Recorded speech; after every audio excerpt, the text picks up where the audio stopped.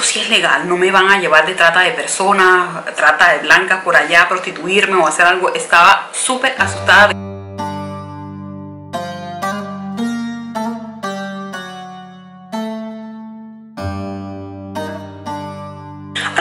Que estén muy muy bien. Yo soy Pierina o Katy como muchos de ustedes me conocen y en el video de hoy quiero traerles un story time porque me han preguntado muchas de ustedes cómo llegué a Dubai. Bueno, primero quiero contarles que el 22 de febrero cumplí 15 años de estar aquí en los Emiratos Árabes Unidos, exactamente en Dubai. Hace 15 años me llegó la oportunidad y pues no la desaproveché. Es una historia tal vez común para unas personas o menos común para otras, pero bueno, si quieres saber cómo llegué a Dubai no pueden perderse el siguiente video. Bueno, le voy a contar. A finales del 2003 yo estaba en un grupo de danzas. Yo era parte del ballet de Colombia de Sonia Osorio. Yo en ese momento no tenía el dinero para costearme un viaje de placer, un paseo conocer otro país, muchísimo menos otro continente. Estábamos conversando y yo le dije a una amiga, a mí me gustaría irme del país, no sé, cambiar de ambiente, conocer otra cultura, conocer otras personas por un tiempo y luego regresar. De pronto conseguir un trabajo así como se se van muchas personas, eh, estudiantes de intercambio, pero ya yo no estaba pues en la etapa de estudiante porque me acababa de graduar de desarrollo infantil, que fue lo que yo estudié. Entonces yo le decía, pues ya no estoy como que en la etapa, tal vez me gustaría ir a otro país. Les voy a contar una cosa, yo estudié desarrollo infantil con énfasis en preescolar porque mi sueño era irme a vivir a Miami y trabajar como niñera, porque yo sé que pues los sueldos eran muy buenos y les gustaban mucho las profesoras de Colombia para trabajar allá con latinos como niñera. Entonces a mí me parecía que la experiencia podía ser chévere. Podía irme un año, dos años, tres años, no sé. Y luego regresar a Colombia con algún dinerito guardado para montar mi propio negocio. Que aquí entre nos yo quería montar un café internet. En ese tiempo estaba el boom del café internet, no, no, había internet en las casas, entonces pues la gente iba pagaba una hora. Todavía yo sé que existen estos cafés internet, pero en ese tiempo era el boom y era súper bueno ese negocio. Y con una amiga que es ingeniera de sistemas habíamos hablado que a mí me gustaría, pero no teníamos el capital, no teníamos el dinero. Entonces para mí esto fue, era la oportunidad de irme a trabajar un, un, año máximo y regresarme con el dinerito guardado, porque la idea también era guardar todo el dinero que me ganara. Bueno, estuve comenzando con esta amiga y ella me dijo, sí, sería chévere, sabes que muchos bailarinas del ballet de Colombia y muchas personas que trabajan en esto se van por un año, por seis meses, ocho meses y luego regresan y pues las experiencias son espectaculares. Además que estaba teniendo problemitas con la relación amorosa que tenía en ese tiempo y pues como que no me sentía a gusto ahí y pensé que viajando pues iba a ser mucho más fácil para mí despejarme, conocer más gente. No estoy hablando de conocer hombres y tener más novios, no, no era eso. Sino como conocer más gente, ver otras cosas, conocer otras culturas y que se me iba a pasar mucho más rápido. Bueno, de ahí pasó el tiempo, pasaron unos meses y en ese tiempo yo estaba saliendo con un chico. Y yo estaba modelando y estaba pues en el ballet de Colombia, estaba trabajando en un jardín infantil como profesora de baile de danzas folclóricas, estaba trabajando también en una academia de modelaje los sábados, o sea, dictaba clases los sábados dictaba clases en una academia de modelaje, los martes en otra en la tarde, iba lunes, miércoles y viernes al, al ballet de Colombia a ensayo en las tardes y en la mañana pues iba toda la semana al colegio este donde les digo que trabajaba. Todo mi tiempo estaba ocupadísimo, algunas noches tenía shows de modelaje, entonces o en las tardes que tuviera tiempo yo cuadraba mi tiempo así. Y pues vivía en Bogotá y se me hacía pues bastante difícil, a pesar de que tenía todos estos trabajos, el dinero, el dinero era muy pesado conseguirlo. Bueno, Resulta que en enero me dicen, hay un casting para salir del país y es con una agrupación grande y hay bailarines y hay meseros y hay profesores de baile, entonces ve y presenta. El señor tenía como una agencia que le brindaba entretenimiento a los hoteles de acá. Estaba necesitando cierta, mm, ciertos eh, meseros y todo eso, bailarines, músicos, eh, profesores de baile y todo para venir a Dubai. Cuando yo fui al casting, lastimosamente las convocatorias se habían cerrado y habían conseguido a todo el personal. Era un grupo de 12 personas que se venía a Dubai y en ese momento pues yo no entraba a nada, ni de bailarina, ni de profesora de baile, ni de mesera, ni de nada. Entonces yo dije, bueno, esta no es mi oportunidad. Eso fue en enero. Luego, el 16 de febrero, yo estaba tranquila, no estaba en casa, estaba afuera con este chico que le digo que salía cuando me llegó una, me entró una llamada a mi celular. Y era esta amiga mía que le digo que le comenté hace unos meses que yo me quería ir del país por un tiempo. Ella me llamó y me dice, Pieri, te va a llamar un muchacho, eh, dile que sí. Yo le dije, ¿cómo así? Me dijo, dile que sí, dile que sí, es para irse fuera del país y es un trabajo bien, dile que sí. Inmediatamente apenas ella me colgó, me entró una llamada. Cuando este tipo me llama y me dice, hola, mira, lo que pasa es que hace un mes hicimos unas convocatorias y tú te presentaste. Yo le dije, sí, sí, pero ya me han escogido el personal. Me dijo, sí, habíamos escogido el personal, pero una de las chicas decidió operarse las boobies antes de viajar se operó hace dos semanas. Lo que pasó con ella es que me llamó ayer a decirme que una de sus, uno de sus implantes se había encapsulado. En ese momento yo no sabía que era un encapsulamiento de, de silicona ni nada. Me dijo, se le encapsuló la prótesis y entonces... Eh, tienen que operarla de nuevo, sacarle esa prótesis, hacerle una limpieza y luego volverle a poner otra. Y eso va a tomar mucho tiempo y no se va a recuperar a tiempo porque el viaje es el 23 de febrero. No hay manera que esta chica se recupere, entonces ahí es donde entrarías tú a ocupar el puesto de ella dentro del equipo de entretenimiento para este hotel. Y es ahí donde entro yo. Él me llamó en la noche tipo 8 o 9 de la noche y me dijo, si puedes venir mañana a las 6 de la mañana y traerme tu pasaporte, estaríamos bien porque la visa saldría rapidísimo porque ya este hotel ya hizo pues la vuelta de las visas solamente había que cambiar tu nombre y como ya hay un equipo grande que viene con nosotros pues entonces sería mucho más fácil. Gracias a Dios que yo tenía pasaporte en ese momento porque hacía un año año y medio la verdad no recuerdo bien había viajado con el ballet de Colombia a los Estados Unidos a ciertas presentaciones de parte del Instituto de Cultura y Turismo y todo esto entonces obviamente había requerido mi pasaporte y lo tenía yo al día siguiente me levanté muy tempranito, estaba lejos de mi casa, me fui, yo me levanté como a las 4, me arreglé, me maquillé bien bonita, andaba con mi cabello cepillado, me puse mi chaqueta bien fría porque en yo vivía en Bogotá y es muy frío, o era muy frío en ese tiempo, en esas horas. Me fui hasta allá y le entregué mi pasaporte y ya, me dijo, listo, el 23 viajamos.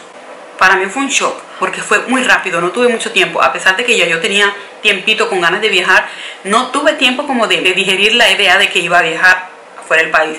Y lo peor es que yo no sabía dónde quedaba Dubai, ni sabía que era eso. Yo nunca había escuchado hablar sobre esa ciudad. Es más, cuando él me dice que es para viajar a Dubai, yo escribí Dubai, T-U-P-A-I, o sea, nada que ver. Me dijo que eran los Emiratos Árabes Unidos y yo tenía un atlas y empecé a buscar en el atlas eh, dónde quedaban los Emiratos Árabes Unidos. Y en el Atlas no encontraba nada porque no tenía idea dónde era y me he ido a internet donde la amiga que les cuento y ella me ayudó a conseguirlo y miré que quedaba en el sureste de Asia o algo así, entre Asia y África. Y yo decía, ¿esto dónde es? Y era muy pequeñito, eso se veía súper pequeñito porque los Emiratos Árabes Unidos son muy pequeñitos. Y eso se veía muy pequeñito en el mapa y empecé a preguntar, ¿esto sí será legal? ¿Esto sí será bien? Y yo llamé a mi amiga y le dije, Yolika, mira, eh, si es legal esto, yo no sé para dónde voy, esto yo le dije que sea señor porque tú me dijiste y porque yo tengo ganas de viajar, pero esto sí es legal, no me van a llevar de trata de personas, trata de blancas por allá, prostituirme o hacer algo. Estaba súper asustada después que di el sí. Cuando llamo a mi mamá a avisarle, mi mamá igual pegó el grito en el cielo y me dijo, ¿cómo así? Tú sabes que se llevan a las chicas para trata de blancas y no sé qué, y las prostituyen por allá en otros países, las ponen de prostitutas y las obligan y les hacen y después no las regresan, muchas no regresan, no sé qué. Entonces empecé a asustarme. Pero ya no podía decir que no porque ya mis papeles estaban listos. La visa salió enseguida. Yo entregué mi pasaporte y como a los dos días mi visa estaba lista y ya el viaje estaba ahí. Yo empecé a recoger mis cosas. Me dijeron solamente puedes traer 9 kilos. ¿Por qué? Porque viajaba una, una, orquesta, viajaban unos trabajadores y viajaban unas bailarinas. Entonces todo el mundo tenía que traer sus cosas. Yo llegué como bailarina y profesora de baile y yo tenía que traer mis uniformes con los que iba a bailar con otra chica. Tuve dos días Conocí a la chica dos días antes de viajar, la chica que venía conmigo. Eh, ensayamos coreografía porque yo era coreógrafa también, entonces ensayamos coreografía, yo le enseñé algunas. Nos conocimos más o menos en esos dos días. Ella vivía en Bogotá, era una cubana preciosa, su nombre es Yadire, todavía somos amigas. Ella ahorita vive en Bogotá, tiene su familia allá y todo, tiene su residencia y bueno, somos muy muy buenas amigas. Ya de un besito estás viendo este video, nena. Esta chica me ayudó mucho, nos ayudamos mutuamente y bueno, el 23 estábamos viajando a un país totalmente desconocido para mí, empezando por el idioma. Viajamos con British Airways y yo me acuerdo que íbamos a Londres primero antes de llegar acá y, yo tenía mucha hambre, fuimos a comprar a McDonald's y a mí todo me parecía costosísimo. No pude comer, entre las dos compramos algo, compartimos y la comida no nos gustó, estuvimos en el aeropuerto mucho tiempo, dormimos en el suelo, luego nos vinimos para acá porque cuando hacen estos viajes que lo contratan uno, muchas veces pagan unos unos tiquetes muy baratos que le tocan hacer uno muchas escalas. Gracias a Dios a mí solo me tocó hacer una, entonces pues me siento tranquila por ese lado. Llegamos acá de, de medianoche a madrugada y estaba oscuro y pues salimos del aeropuerto en un bus que nos estaba esperando, un bus del hotel. Y me pareció pues, bueno, no había nada. Sí me pareció raro que había mucha gente en la calle y se veía un país muy seguro. Me dijeron, este país, esta ciudad es muy segura, el país en sí es muy seguro. Llegamos al lugar donde vamos a vivir. Y eso fue horrible, fue un shock para mí. Yo no soy, yo no venía de una familia rica ni de vivir en los mejores lugares en Bogotá ni en la costa.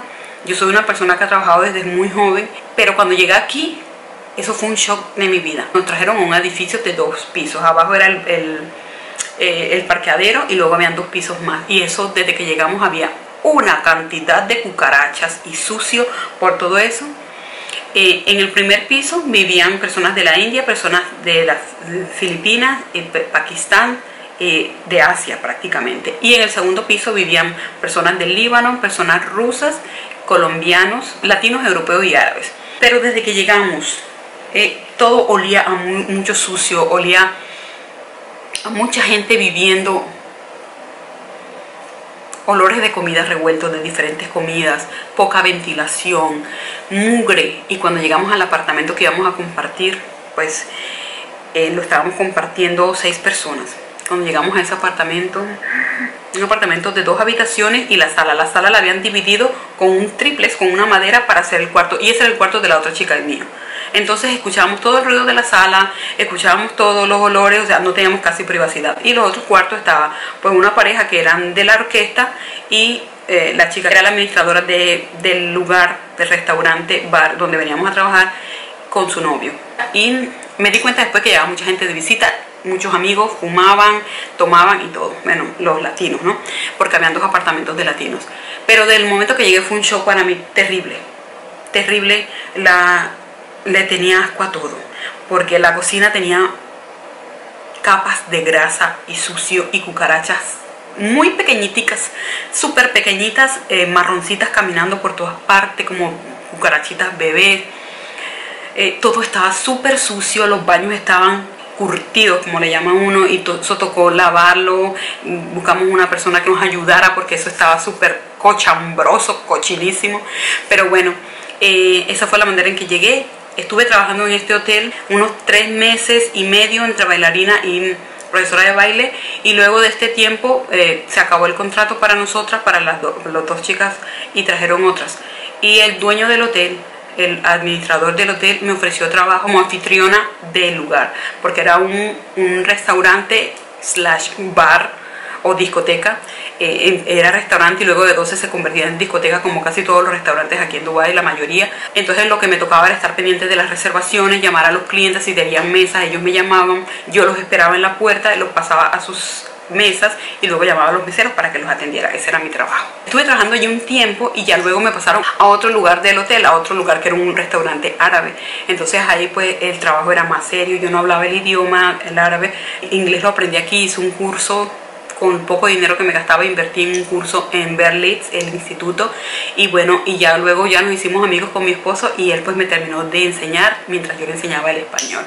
Fue una época súper dura, fue una época que me enseñó muchísimas cosas. Cuando se nos acabó el contrato, mi amiga cubana se regresó y ella me dijo, si te quieres quedar, quédate, que así me quedé yo en Colombia y pues me está yendo muy bien les digo que fue muy, muy duro. Muy, muy duro quedarme porque ya a mí el hotel me había cortado el contrato. Entonces no tenía visa, no tenía vivienda, no tenía nada y lo poco, el poco dinero que había guardado para mí, porque el resto yo se lo mandaba a mi madre y eso, y para pagar unas deudas, el poco dinero que había guardado para mí me tocó invertirlo pues en quedarme aquí sin saber si me iba a resultar o no. Pero si quieren saber un poquito más sobre eso, puedo contárselo en otro video. Déjenme aquí abajo si quieren saber qué sigue de la historia, como digamos el capítulo número 2 de Pierina en Dubai, de mi vida en Dubai, de cómo me quedé en Dubai. Y no, les aseguro que no fue trata de blanca, no fue trata de personas, para nada. Fue un contrato, gracias a Dios, eh, serio, serio porque como lo firmamos en inglés y yo no entendía en ese tiempo mucho inglés, eh, me jugaron bastante con ese contrato, así que tienen que tener pendiente de que los contratos sean verídicos y dejar que una persona que sepa inglés o sepa el idioma del lugar donde ustedes van les ayude con el contrato. Bueno, este video se me ha alargado muchísimo, así que si quieren segunda parte de este video, déjenme sus comentarios aquí abajo, sus deditos arriba y díganme si les interesa saber de estos temas. Yo por ahorita me despido mandándole muchísimas bendiciones y muchísimos besitos. Mm, cuídense mucho, que yo la sigo esperando aquí en Belleza by Katy. Chao. Me ayudarías mucho si compartes este video en tus redes sociales. También me ayudarías si dejas tu dedito arriba y dejas tu comentario. Yo por ahorita me despido deseándole muchísimas bendiciones y mandándole muchísimos besitos. Mm, cuídense mucho, que yo la sigo esperando aquí en Belleza by Katy. Chao.